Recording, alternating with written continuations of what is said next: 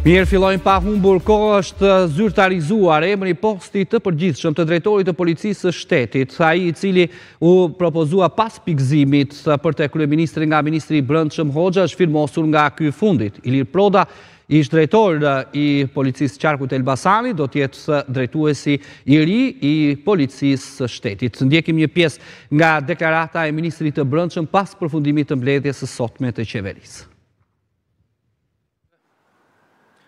Sot jam këtu para jush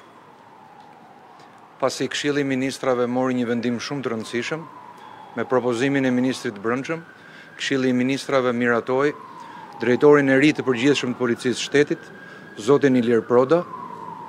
pas një konkurrimi mbi më shumë se 10 drejtuesish të lartë policie, dhe verifikimet e bëra nëpërmjet procesit të pastërtisë të figurës së kandidatëve, kandidati i cili sot u emërua Drejtor i Përgjithshëm i Policisë, do të jetë në krye të Policisë së Shtetit. Menjëherë pas emërimit të tij si Drejtor i Përgjithshëm i Policisë së Shtetit, do të vendosim konkurrimin e ri, i cili do të hapë një proces të ri për sa i përket të gjithë drejtuesve të policisë në qarqe. Ju faleminderit. A e përligj imazhin e drejtorit të ri të Policisë së Shtetit fakti që SPAK më herët i ka sekuestruar telefonin për të bërë verifikime lidhur me dekonspirimin e një operacioni sa i përket bandave të Elbasanit? Faleminderit për pyetjen. Fakti që të gjitha organet ligjzbatuese u pyetën në një kohë rekord, po ashtu dhe përgjigjja e tyre ishte shumë e shpejtë, kandidaturat janë verifikuar nga çdo organ ligjzbatues dhe pastërtia e tyre është në përputhje të plotë me ligjin, ky proces konsiderohet transparent, integrues dhe Drejtori i ri i Përgjithshëm i Policisë së Shtetit i ka kaluar këto etapa verifikimi.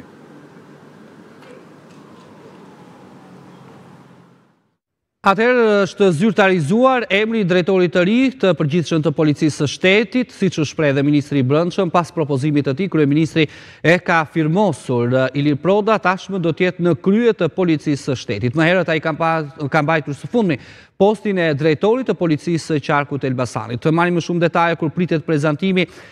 dhe më pas sigurisht që do të prezantohet edhe në prani të ministrit të brendshëm zotit,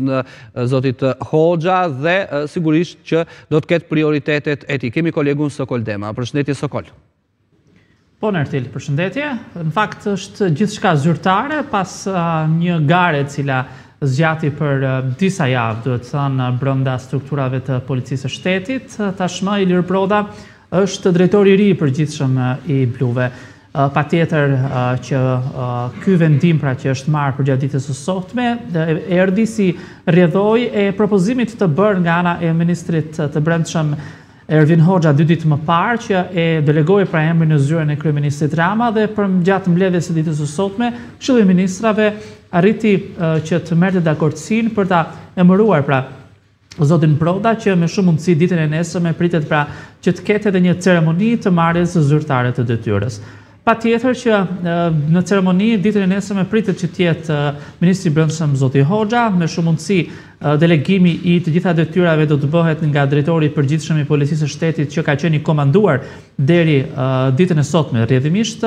zoti Sokol Bizhga dhe më pas patjetër më pas do të marrë dy detyrën zyrtarisht dhe sigurisht do të jetë fillimi i një pune të gjatë duke patur parasysh se përgjatë ditëve të tij të para do të përballet pra me zhvillime të ndryshme të protestave, por nga ana tjetër edhe me hapjen e garës për sa i përket të gjitha drejtorive pra të qarqeve dhe departamenteve që tashmë me ligjin e ri janë të sanksionuara edhe ata për t'u zgjedhur me konkurs. Zoti Proda vjen në këtë detyrë të Drejtorit të Përgjithshëm të Policisë së Shtetit, pas një karriere relativisht të gjatë në role drejtuese, por më kryesorja ka qenë në Drejtorinë Vendore të Policisë së Elbasanit, e vetmja si drejtues në fakt, në, nga viti 2023 deri mhm. tashmë, deri ditën e sotme, nëse mund ta themi në këtë formë. Nga ana tjetër, gjatë momenteve të prezantimit të tij dhe të marrjes së detyrës, atij do t'i alokohet edhe grada pra e re, grada drejtues madhor që merret përgjithësisht në momentet e para pra kur bëhet emërimi i drejtorëve të përgjithshëm të Policisë së Shtetit dhe sigurisht Më pas do të jetë një vit, kam përshtypjen, në tërësi relativisht i vështirë për zotin Proda, duke patur parasysh se vitin e ardhshëm, pra në maj, do të jetë edhe zhvillimi i zgjedhjeve parlamentare, çfarë në tërësi është një sfidë kryesisht për policinë për ruajtjen e rendit dhe të sigurisë. Nga ana tjetër, zoti Proda, siç theksova më sipër, përveç drejtimit pra të Elbasanit, më herët ka mbajtur detyra të rëndësishme si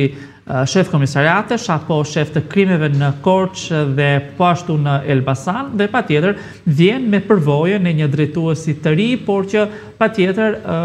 me synimin pra për të patur për të patur në nën kontroll situatën e rendit dhe të sigurisë. Kolegët e politikës e kanë pyetur pak më herët zotin Hoxha në lidhje me publikimet pra të disa ditëve përpara se të hapej gara të marrjes të celularit nga ana e strukturës së posaçme antikorrupsion dhe zoti Hoxha është shprehur që ka patur kontakte në mënyrë rekord nga ana e Komisionit të Posaçëm në Ministrinë e Brendshme me institucionet që u është kërkuar mendim, opinion në lidhje me çfarëdo lloj pasaktësie të pastërtisë së figurës që mund të kenë patur apo në hetime dhe me sa duket SPAK ka referuar pra në drejtim të Ministrisë së Brendshme një dakordësi pra për pastërti të figurës së tij dhe me këtë arsye me sa duket edhe komisioni ka arritur që ta vlerësojë maksimalisht një gjë të tillë E ka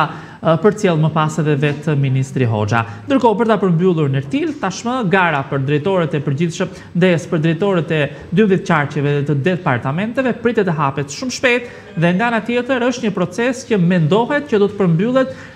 brenda muajit tetor. Pra, brenda muajit tetor të gjithë drejtoritë e qarqeve dhe njëkohësisht të departamenteve në Drejtorinë e Përgjithshme të Policisë së Shtetit, do të kenë drejtuesit e tyre të rinj për t'i dhënë impulse të reja, pra, rendit dhe sigurisë dhe patjetër bëhet kjo me synim që një grup relativisht i madh drejtuesish që kanë marrë së mhm. fundmi gradat të mund të katapultohen për dhënë kontributin e tyre të vyër. Mirë Sokol të falenderoj për këto informacione, shkojmë në selinë e Partisë Demokratike, është kreu i grupit parlamentar.